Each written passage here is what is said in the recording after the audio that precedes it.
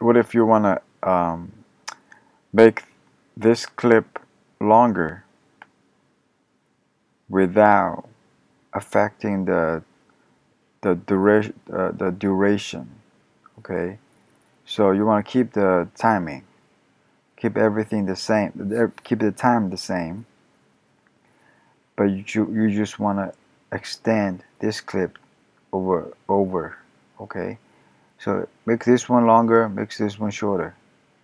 So what you need to do is go to trim tool then click okay?